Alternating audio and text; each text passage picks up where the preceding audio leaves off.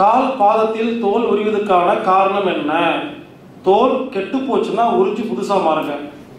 உங்கள் கை இல்லைங்களா? கை உள்ளங்கை சுத்தமாவே வச்சுட்டு இருந்தீங்கன்னா அது உரியவே உரியாது.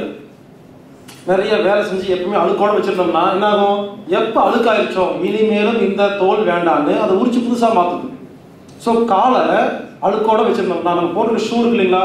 ஷூவில் வேர்வை இருக்கும். நமக்கு தெரியாது. எல்லாரும் இந்த ஷூ செருப்பு போறவங்க அதில் தான் எல்லா பிரச்சனையும் இருக்குது. உள்ளங்கால் சுத்தமாக வச்சிருக்கணும். செருப்பு கழுவணும்.